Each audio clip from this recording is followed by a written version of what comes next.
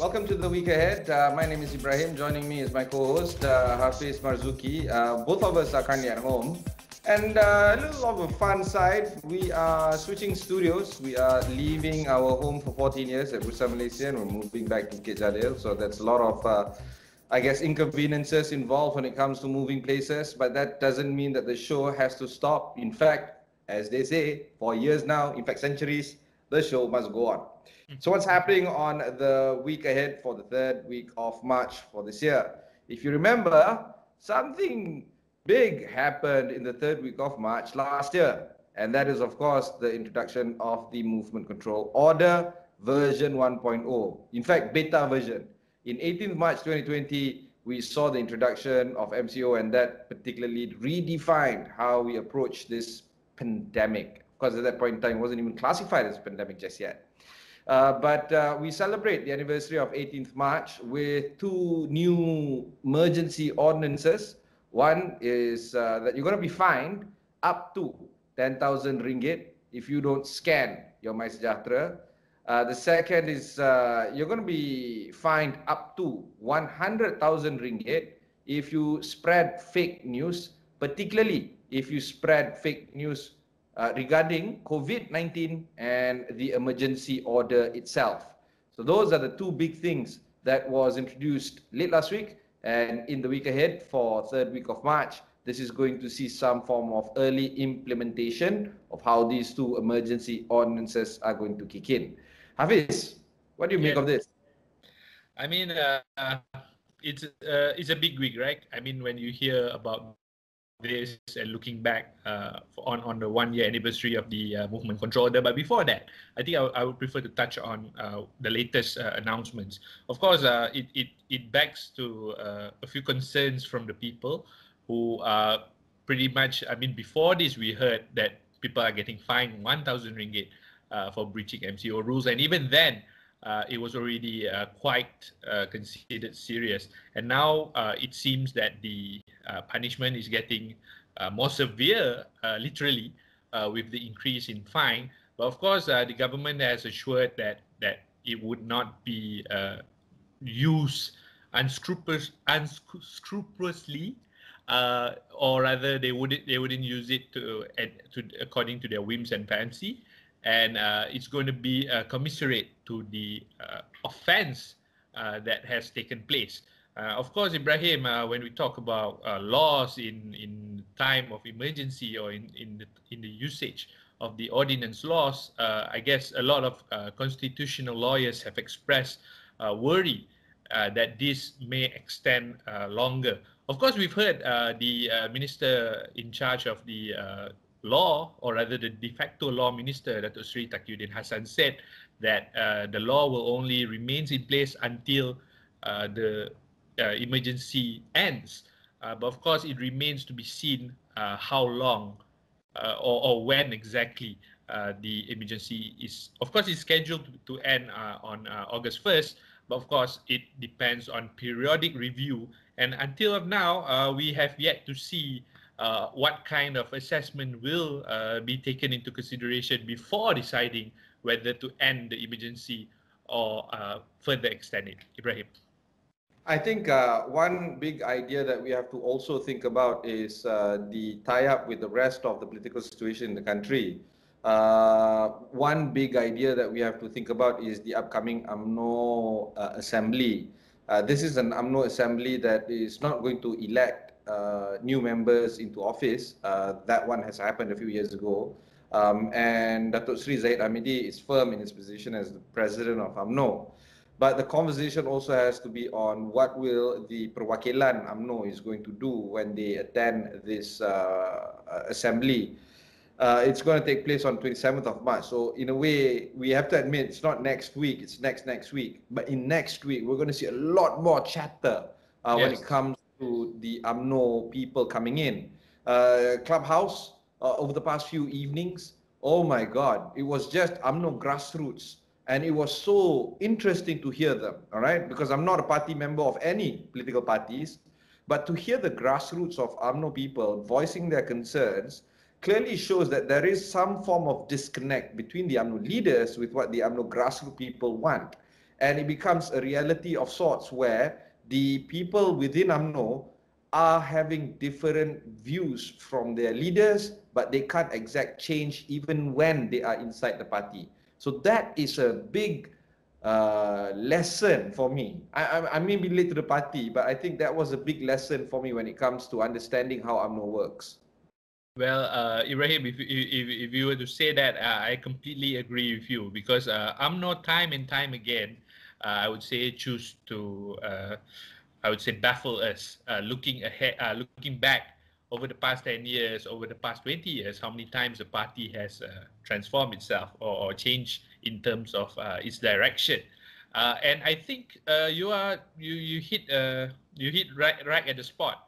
There is a certain sentiment among the delegates that differs from what the leadership has appeared to say. And of course, this kind of chatters happen in isolated bubbles, and it ha- I think it will come to a head uh, once it is at the General Assembly because usually if you if you if you have covered or if you've seen how the delegates uh, do uh, their General Assembly or UMNO delegates do their General Assemblies, they basically just voice every concern they have. And in fact, uh, I remembered when I covered it back in uh, 2015, uh, when 1MDB was all the rage uh, back then, it was uh, it was clear. Uh, you can see who wanted uh, 1MDB to be investigated further and who wanted to give wholehearted support uh, to the then president, uh, Dato Sri Najib uh, Tun Razak.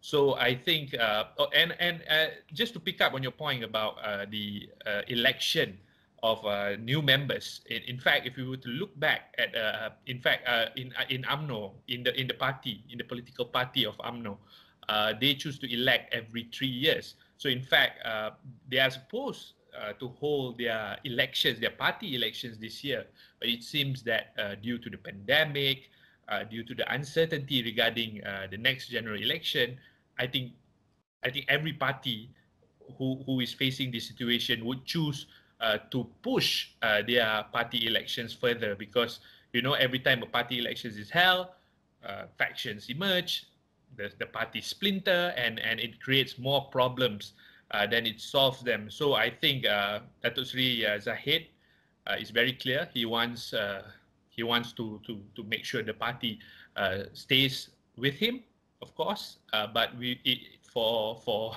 for how long we, we will we will have to see to that once the general assembly takes place next next week. But definitely the week ahead will definitely show us what kind of tone it would be, especially in relations to uh, Bersatu and PAS, the the relation to to Bersatu and PAS. Uh, also happening next week is uh, the legalization of uh, the Democratic Action Party. Um, 18th March is the 55th anniversary of DAP as they were legalized on the 18th of March 1966. Uh, they were created slightly earlier, a few months earlier, uh, on 11th of October 1965, but they finally got um, approval from the ROS on 18th of March uh, 1966 how they intend to celebrate their 55th anniversary is also quite interesting because uh, Perak DAP is going to have uh, an election, and this is when uh, it gets a lot of attention, particularly if you follow DAP politics. Um, Kula uh, and uh, Kula Segaran and Thomas Su Keong Siong. Uh, they were once uh, defeated by uh, the cousins uh, Nga Kor Ming and uh, Ngeh Koo Ham, uh, they might uh, challenge for a revival of sorts uh, within the party hierarchy inside Perak. Uh, that is uh, also setting the tone for the entire rest of the country as DAP is also trying to organize their own uh, assemblies uh, in the weeks and months uh, to come. Yes, uh, Ibrahim. Of course, when we look at uh, DAP, uh, actually, I have I have to make this observation. It's nice of us to actually talk about uh, UMNO and DAP within the same block, uh, since they are just uh, rivals, you know, uh, to uh, the political uh, scene here in Malaysia. And of course, uh, you mentioned about uh, Kula Segaran and uh, Thomas Su uh, challenging the Nga and Ngeh uh, cousin, or, or what they call the duo, the power duo in Perak. And this is important because uh, we've known, for, uh, if we were to look back into uh, DAP, especially in Perak, uh, the Nga and Ngeh combination have dominated uh, the state leadership for years. And uh, this is the first time that I would say uh, Kulasegaran and Thomas Su is mounting some sort of a unified front towards the uh, Nga Ngeh uh, combination. And it's interesting to see uh, the kind of dynamics that is uh, evolving from DAP, especially this is the, uh, I would say, the first time elections uh, are held for them after uh, they've taken power. And it's interesting to see, especially with the emergence of who will be the next Secretary General of DAP. Uh, as, as we all know, in the party's constitution, it is outlined that no one person could hold the position uh, for more than three terms. And uh, we've known the, uh, the current Secretary General is at the end of his third term. Um, who will replace him into leading DAP, especially that I would say this is a very pivotal moment in the party's history, uh, especially right after they've taken power in 2018. So um, it, it, it, will be interesting to keep on observing the kind of dynamics. And this is what is happening in Perak. We also have to uh, see what's happening in Penang, what's happening in Johor, what's happening in Selangor as well. And this will give a semblance of how uh, DAP will shape up uh, heading into uh, GE15. And of course, I have to mention here, not uh, meaning to uh, promote uh, their, their party ideology. I find it interesting that uh, DAP has chosen Muhibah as part of uh, their, uh, I would say, 55th uh, anniversary uh, celebration. It, it, it, it somehow uh, shows clearly where uh, the party's leadership mind is at. They are they are targeting a more multiracial, a more a, composition that is more, I would say, more different compared to what they are right now. And it is clear that they want to be a power player in the Malaysian politics, Ibrahim. The element of PKR also has to be discussed. Next week, uh, there are murmurs that uh, the party is holding uh, clandestine uh, conversations between the party top leadership to address the current, uh, I guess, bleeding uh, that the party is facing. Uh, and this comes after three big news um, from the party itself. Uh, the former Johor Amanah leader, uh, Khairuddin Rahim, uh, has defected from Amanah and joined PKR.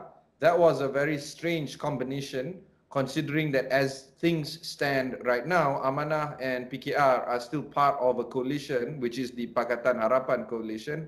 Uh, so this has put some sort of a strain between PKR with Amanah, between Mat Sabu and Datuk Sri Anwar. Uh, that is an element that has to be uh, thought about or think about uh, when the PKR leaders are meeting next week.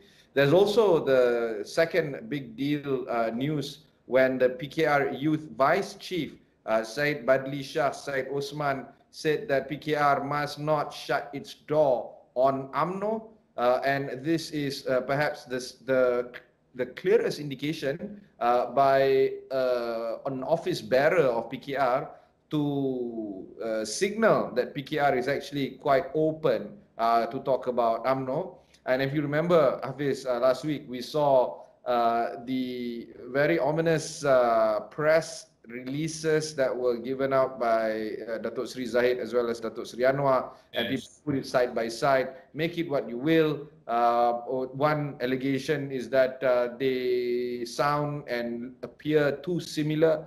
Uh, so that is uh, an area of concern for people who are interested in those things. Uh, and uh, whether or not there will be a conversation on whether PKR is going to see some form of tie-up with UMNO. And of course, the third idea that is coming in from PKR are the fact that PKR defectors are seen to be likely defending their seats uh, in Sarawak. This is when it comes to the uh, big uh, headliner where Larry Sng, uh, the Julau MP, has uh, defected PKR and uh, became an independent to support the Prime Minister, Tan Sri Muhyiddin Yassin. Uh, two political analysts were reported by FMT from GPS will do or will stop at nothing to stop the four PKR defectors from contesting in the next GE.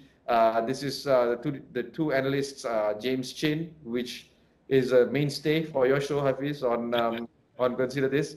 Uh, and uh, Awang Azman Awang Pawi uh, of University Malaya, they argue that uh, the Lubo Antu MP Juga Muyang as well as the Julau MP uh, Larry Seng uh, won as independents already in the last GE before entering PKR uh, and they have both declared that they are now PN, PN or Perikatan National Friendly Independents. So it becomes uh, quite of a natural position for them to go back as independents to defend their seats.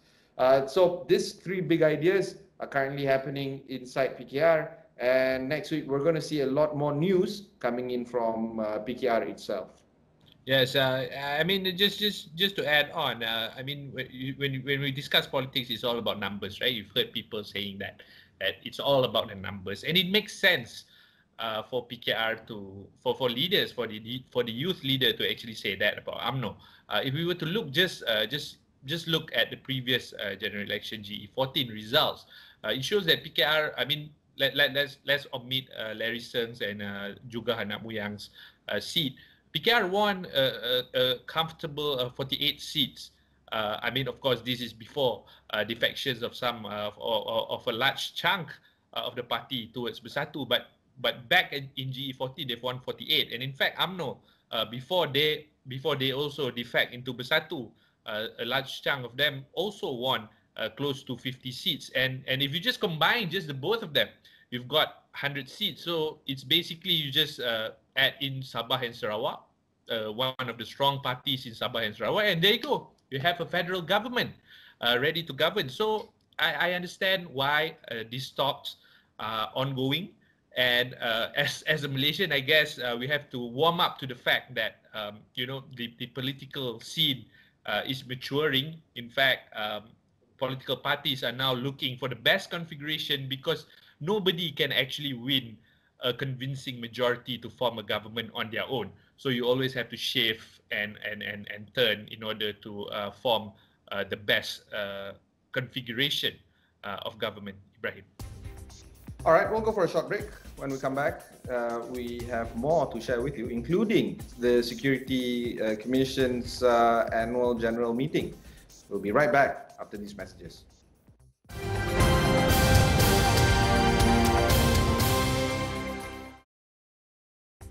Welcome back. This is uh, the week ahead. My name is Ibrahim. Joining me is Hafiz Marzuki. Both of us are transmitting from our homes because the work from home thing is still on.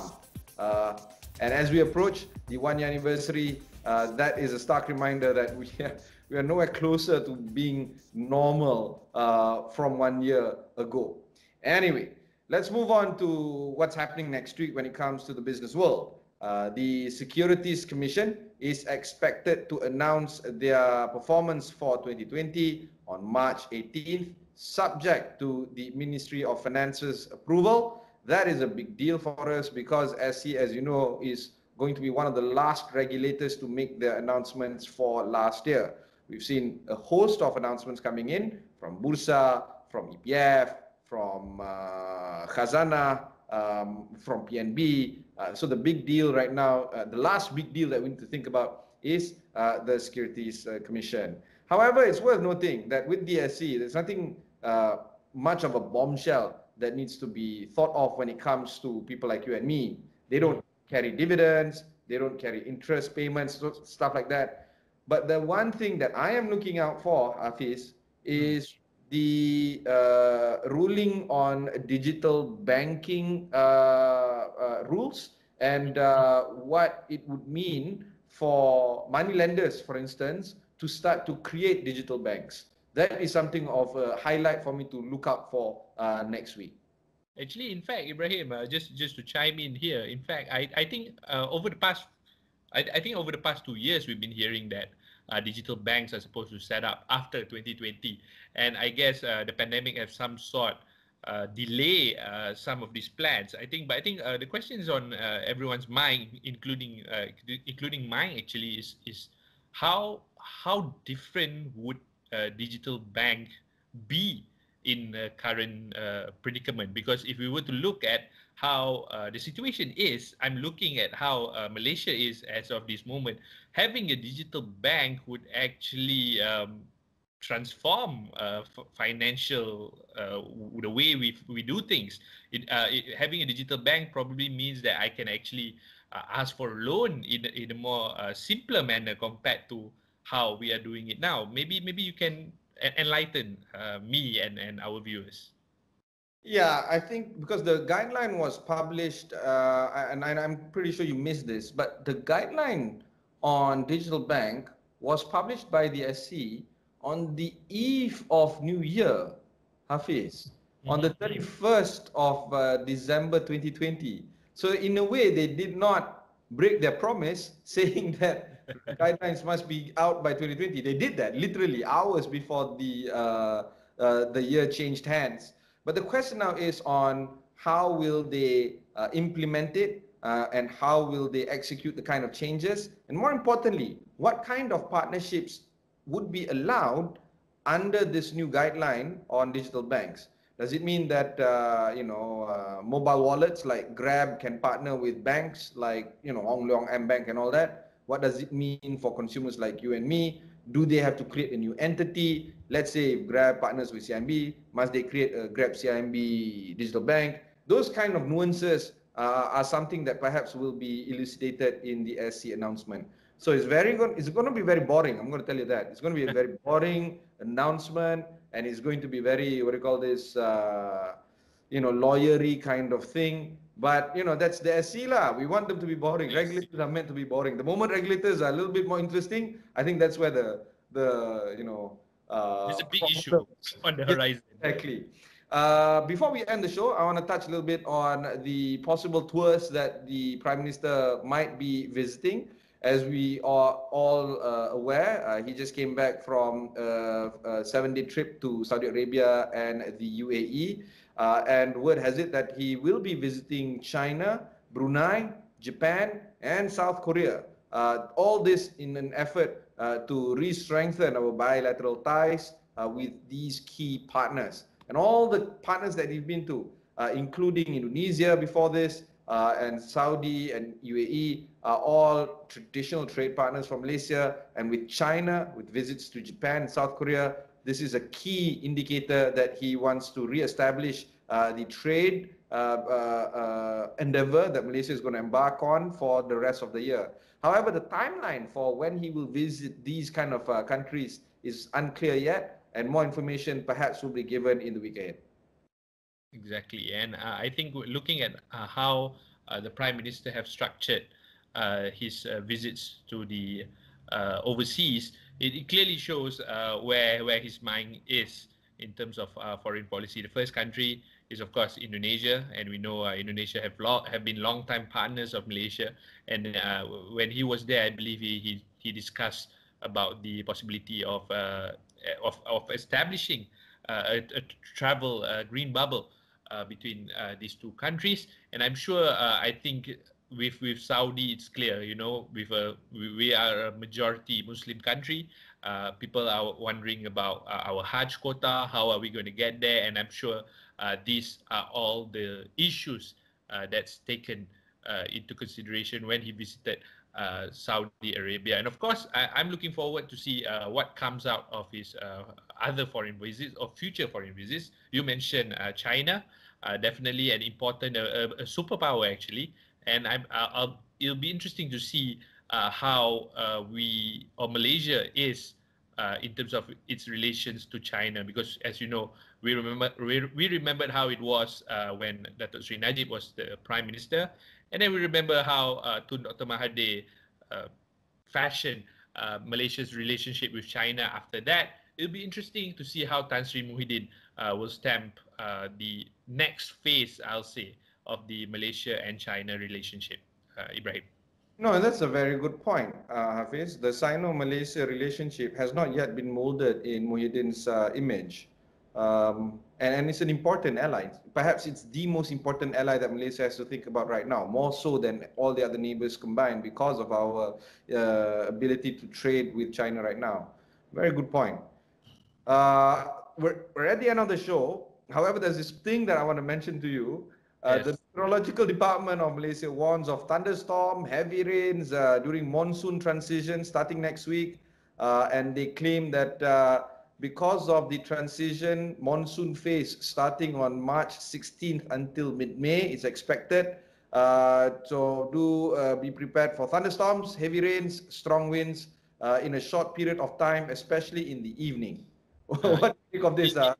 Uh? It, it, came on the back of a heat wave, right? So I guess uh, it should be a welcome news, but uh, I'm sure that I mean no, nobody welcomes thunderstorms, uh, but I think I guess I mean the weather these days uh, are showing signs of you know it, it's going uh, every which way, right? It, it, it goes really hot one way, and then a few weeks later it goes uh, very cold the other way. Which and I think uh, us to talk about climate tech. Yeah, climate tech. Oh, that's interesting. No, no, because uh, there's a lot of conversations on because you know, as as, as I think uh, the whole country knows already, I am an addict on Clubhouse, and and apparently climate tech is the buzz right now. In fact, so much so that uh, if you were to become uh, the next billionaire or the next trillionaire, perhaps an area that you really need to think about is climate tech. Uh, because of the possibilities that you can grow in this sector. And apparently, it is highly competitive and it's highly demanding. So perhaps uh, that is something that we need to really think about. You've just piqued my interest. In fact, I'll, I'll right after this show, I'll, I'll probably Google some to see what's the latest in climate tech, Ibrahim. Fantastic. That was our conversation on the week ahead. If you've missed any part of the show, just go on to astroawani.com, look for the week ahead. Until then, thanks very much for watching and goodbye. Goodbye.